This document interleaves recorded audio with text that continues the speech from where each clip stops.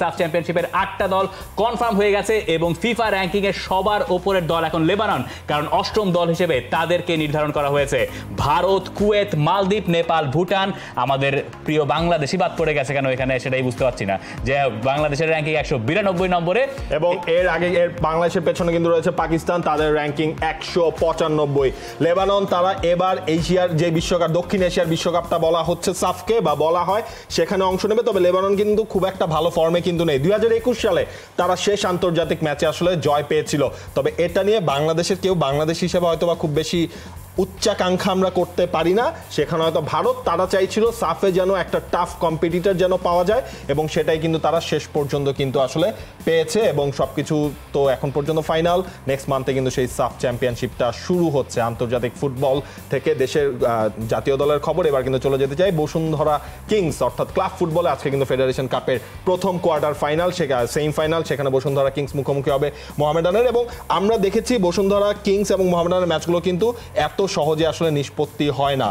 এইবারে লিগের first লেগটায় ডোরিয়ালটান injury টাইমে গোল করেছিল। গতবার তো মনে আছে মোরসালিনের সেই গোল লিগের সেকেন্ড সেকেন্ড ম্যাচটা আসলে সেটা ছিল সেকেন্ড লেগ তবে আজকে বসুন্ধরা কিংস তারা কিন্তু পুরো আনচেঞ্জড একটা ইলেভেন নিয়েই তাদের নামার সম্ভাবনা বেশি কোনো পরিবর্তন তারা করতে চাইছে না। কেনাকাটায় একশো পার্সেন্ট পর্যন্ত ক্যাশব্যাক জিতে নিন বিএমডব্লিউ সহ হাজার হাজার পুরস্কার।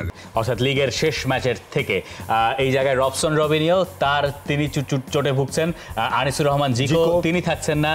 অর্থাৎ বসুন্ধরা কিংস তারপরও তারপরও মোহামেডান স্পোর্টিং ক্লাবের এগেনস্টে তারাই সম্ভবত ফেভারিট এই ম্যাচটা সরাসরি দেখা যাবে টি স্পোর্টসে বিকাল সোয়া তিনটায় ওই ম্যাচের কমেন্ট্রি বক্সেও আমি আর নাবিল খান থাকব বলে আশা করছি। যাই হোক, সেই ম্যাচটা দেখার আমন্ত্রণ আপনাদের সবাইকে।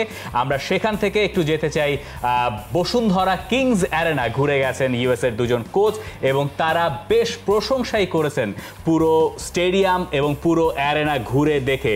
এই জায়গায় তারা বলেছেনও এই কথা যে এই রকম ফ্যাসিলিটিস পুরো বিশ্বেই খুব কম জায়গায় রয়েছে।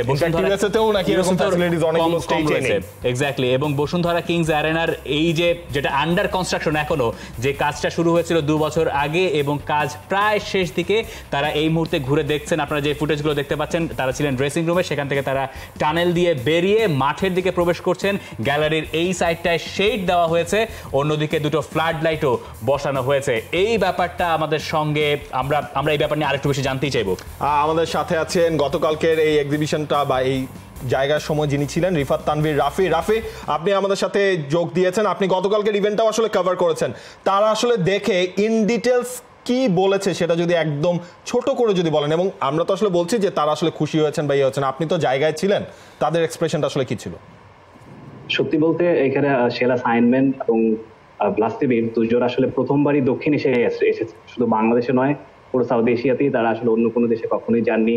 তো এসে তারা প্রথমে বাফেতে গিয়েছেন, বঙ্গবন্ধু স্টেডিয়াম দেখছেন। গতকালকে তারা বসুন্ধরা কিংস এরেনায় এসেছেন এবং তাদের অনুভূতিটা আসলে এমন ছিল যে এটা আসলে আদর্শ হতে পারবে অন্য যে কোনো ক্লাবের জন্য। অন্য ক্লাবগুলোর কেন এরকম অবকাঠামো নেই, কেন এরকম ফ্যাসিলিটিস নেই, সেটা সম্পর্কে তারা বলছিলেন এবং সে প্রসঙ্গে বলতে গিয়ে আসলে এমএলএস এর অনেক ক্লাবেও এত ফ্যাসিলিটিস তারা দেখেনি, যেহেতু সেগুলো অনেক পুরনো স্টেডিয়াম।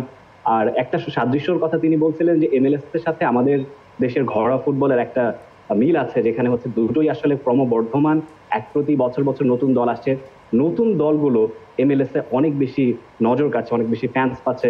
সেম গোস ফর আবার বসুন্ধরা কিংস নতুন ক্লাব কিন্তু তাদের ফ্যাসিলিটিস দেখুন আপনি দেখুন যে কোনো ঐতিহ্যবাহী ক্লাবের চেয়ে কিন্তু আসলে অনেকাংশে এগিয়ে আছে। এবং বাংলাদেশের একটা ক্লাবের স্টেডিয়াম এত আধুনিক হতে পারে, এটা তারা আসলে কখনোই আসার আগে ভাবেননি। আমি তাদের কাছে জিজ্ঞেস করছিলাম আসার আগে কেমন দেখেছিলেন, এখন কেমন দেখছেন? বাংলাদেশের আতিথেয়তার কথা তো বাইরে থেকে যারা আসেন সবাই বলেনি। একই সাথে ফুটবলের এমন একটা ইনফ্রাস্ট্রাকচার বাংলাদেশে আছে, এটা তারা আসলে কখনোই কল্পনা করেননি। রিফাত তানভীর রাফি আপনাকে অসংখ্য ধন্যবাদ আমাদেরকে ওই জায়গার সবশেষ আপডেটটা জানানোর জন্য। আপনি একটা রিপোর্ট করেছেন আমরা দেখেছি দারুণ একটা রিপোর্টিং আমরা সেই জায়গায় দেখেছি। অসংখ্য ধন্যবাদ রিফাত তানভীর। রাফি এই ছিল আমাদের বসুন্ধরা কিংস প্রেজেন্স.